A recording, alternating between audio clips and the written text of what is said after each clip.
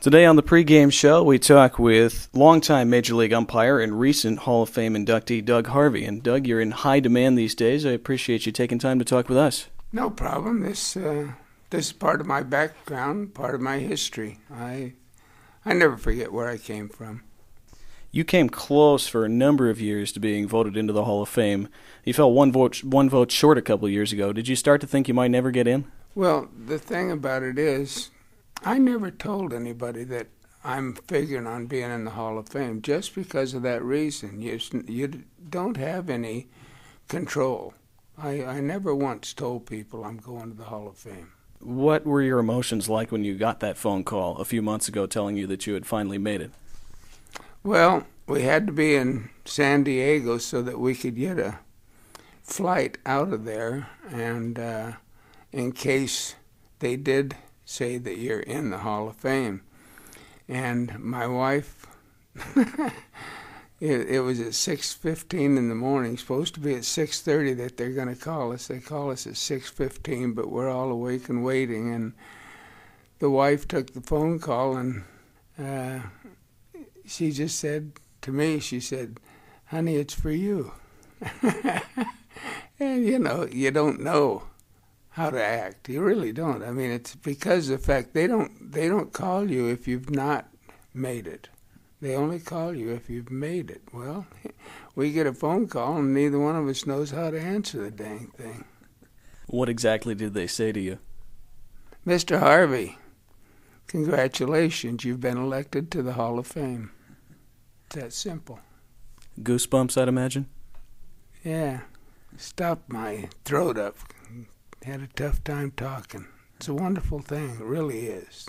Doug Harvey joins us today. Let's go back to how all this began for you because not many kids run around saying, I want to be an umpire. So, when did you start to be an umpire? When did you come into that?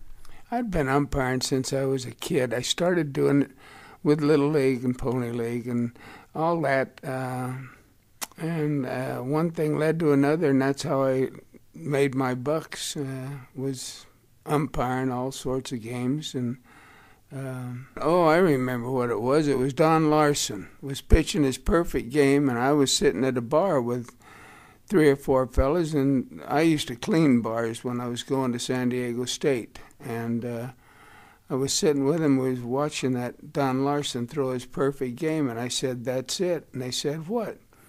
I said, "I've made up my mind what I want to be." I'd been hunting for what I was meant to be in life.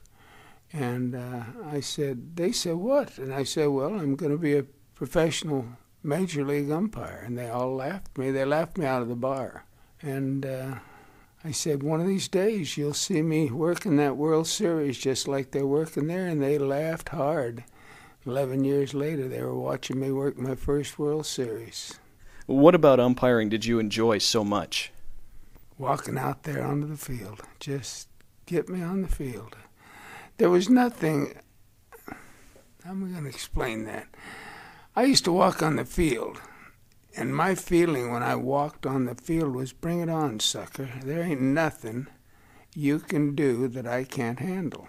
And that's the way I umpired, and uh, it's the way I felt. I guess you had to be that way as an umpire to take that much abuse and not let it get to you. Doug Harvey never took a whole lot of abuse, not very much.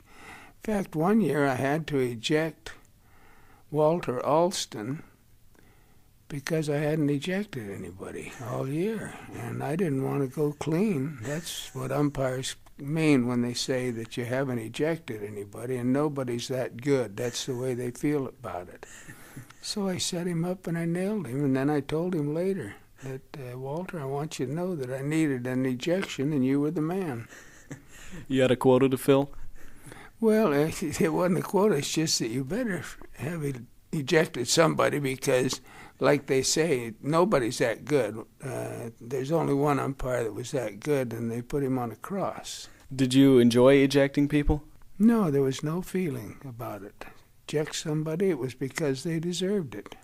We're talking with Hall of Fame umpire Doug Harvey today. Nowadays, to be a professional umpire, you have to jump through all kinds of formal hurdles umpiring school, the selection process, etc. When you started out, there weren't those kinds of systematic processes in place yet. So, how did you go about it? Well, there were umpire schools, but I didn't have enough money to go to them, and uh, I'm the only, I'm the last of the umpires. Shag Crawford also did not go to to go to umpire school, but he and I were the last two, and Shag's gone, of course. So uh, I'm the last of the no school umpires, and uh, what you see from me is what my dad taught me and what I learned on my own. My dad was a was an umpire um, for the high schools and the junior college and all in El Centro, California, and I never seen it happen before, but people when they were coming in to play El Centro High School or El Centro Junior College, they would always say, "Can you get that guy Harvey to umpire for us?" Knowing that he had four sons that went through school and were being umpired by this man. So I felt that was about as great a calling as a man could have, and uh, I feel like I say I learned a lot from my dad. What was his response when you told him that you were going to be an umpire?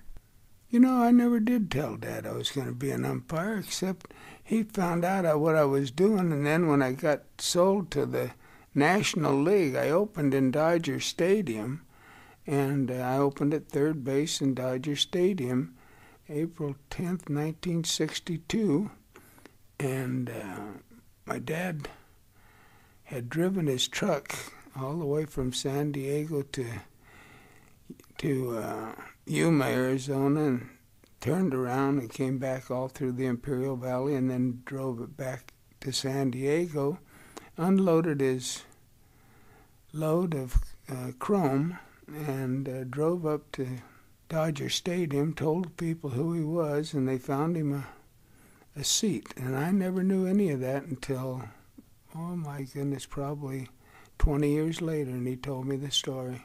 My dad and I had a great relationship, but uh, he just he didn't want to buy. He didn't want to upset me. He didn't want me to get nervous at all, and that's why he didn't tell me that he was there. And I understand him doing it.